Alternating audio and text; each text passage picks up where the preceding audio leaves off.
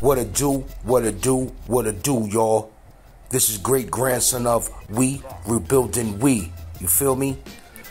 Before I get into this, I'm gonna ask y'all to please press like, subscribe, comment, and share. You heard? Well, we're gonna get into it. We have another creator, inventor. I'm just asking y'all to just pay attention to this. This man creates a machine using air to create clean water.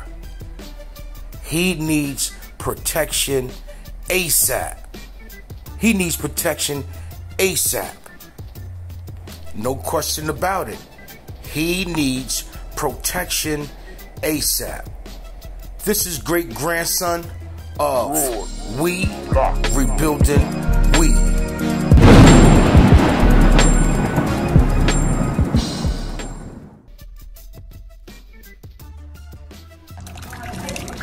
Clean drinking water, a natural resource we often take for granted near the Great Lakes. But Moses West knows a water crisis is quietly growing. Everybody knows we're running out of water. A problem the retired ranger spent the past four years working to eliminate. All the water that we need exists right here in the air.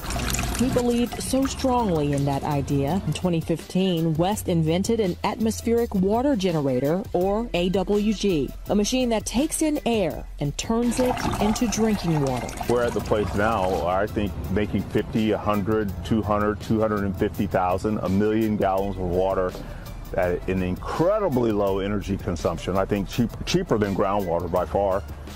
Uh, cheaper than desalination. So far, 12 of these AWGs exist. West planted them in three areas, including the Bahamas, Puerto Rico, and Flint, Michigan. I need to engage with the people here, and I need to show them what I what this machine does, and they need to understand that it is their machine, and I am here for them. West says his AWGs are federally approved, and the water quality is also tested by the Colorado Water Authority. It's clean. It's it's good enough to drink. No bacteria or anything in it.